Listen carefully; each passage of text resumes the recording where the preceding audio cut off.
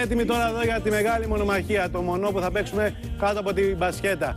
Ε, άλλο είχαμε στο μυαλό μας να παίξουμε κανονικά ένα μονό μεταξύ 2 και 2 παιχτών, αλλά ήταν μια πολύ ωραία ιδέα απέναντι στον Αντένα, στη Φέη και τον Γιώργο που μπήκαν μέσα σε μπλούζες ε, και το κάνουν πάρα πολύ καλό. Ε, γελάσαμε, μα άρεσε και λέμε μήπως και εμείς μπορούμε να το κάνουμε και να γελάσει και με εμάς ο κόσμος.